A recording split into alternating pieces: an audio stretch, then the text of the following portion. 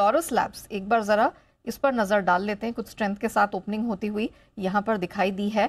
जय Laurus labs, इस समय कोई राय?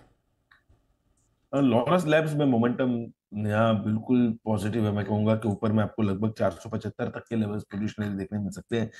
ये स्टॉक ने विथ वॉल्यूम्स एक अच्छा ब्रेकआउट दिया है। लास्ट वीक में अबाउ द लेवल्स ऑफ़ 425 तो जब तक 425 के नीचे हम नहीं जाता नया मेरा मानना है 475 तक के मिनिमम टारगेट्स आपको यहाँ पे यहाँ पे आते हुए दिखने मिल सकते हैं। तो ये है लोअर स्लेब पर आइए जैन साहब हमारे साथ।